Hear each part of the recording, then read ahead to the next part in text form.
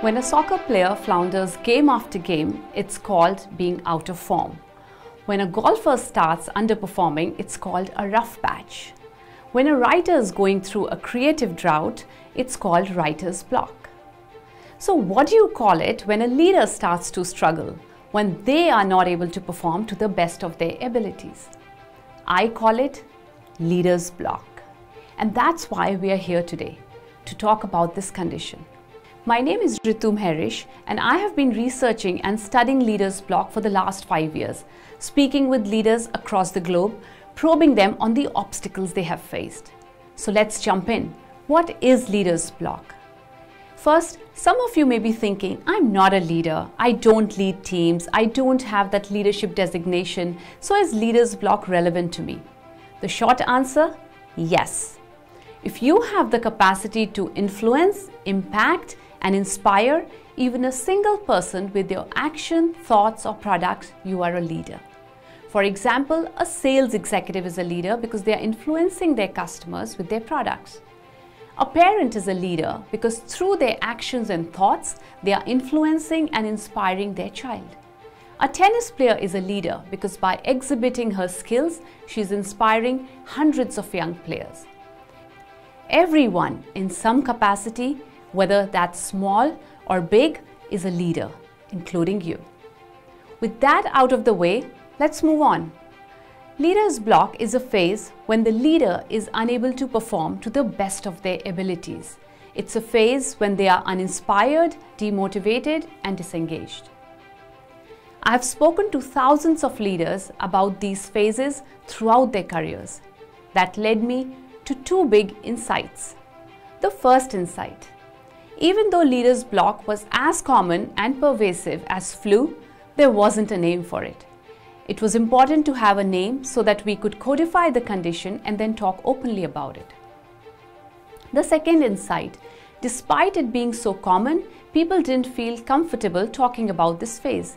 They feared being judged. They thought they were the only ones suffering and, as such, thought there was something wrong with them.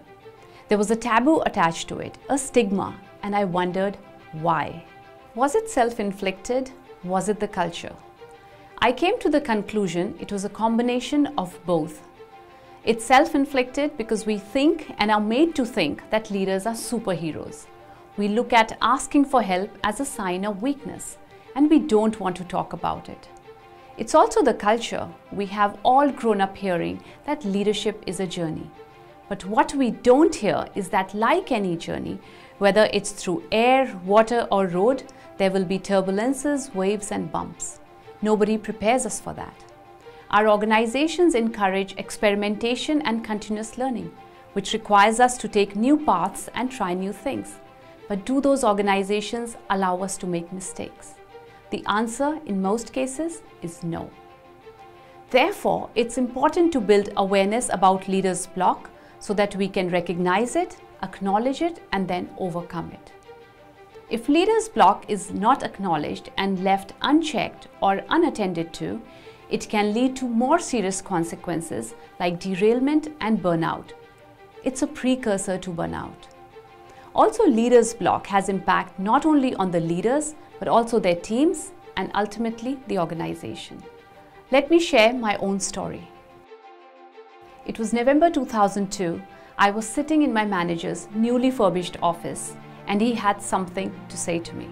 The company's promotion list had come out and I wasn't on it. I was disappointed to say the least. I took a day off, basically to brood. Next day, my manager called me to his office and asked me, What's going on? I assumed that he was asking about how I was feeling. I told him I was disappointed, but that it was okay. He didn't look convinced and asked me again, Ritu, what's going on with your team? At this point, I was quite confused and said I'm not sure what he was referring to. Then he told me. While I was away, my team went to him and said they were disappointed and unhappy that I did not get promoted. My manager was taken aback. He hadn't heard anything like that before. He told them that they should trust the system and it's a matter of time before I will be promoted. I couldn't believe what I had just heard. there was an overwhelming sense of surprise, joy, and pride. This incident is one of the key highlights of my entire career. Flash forward five years. I'm in my manager's office. He wanted a chat. A few of my team members had complained they were not happy with me and wanted to move out to another team. I attempted to say something in my defense, but I decided to keep quiet. I walked out of my manager's office and thought to myself, what happened? How did I go from being a rock star to a flop star? And this time there was a feeling of sadness and dismay. As I look back now, I realize I was in the middle of a classic leader's block. I wasn't a flop star, I was a blocked star. Before I share more stories around Leaders Block, let's talk about your stories. So let me ask you, have you ever experienced Leaders Block?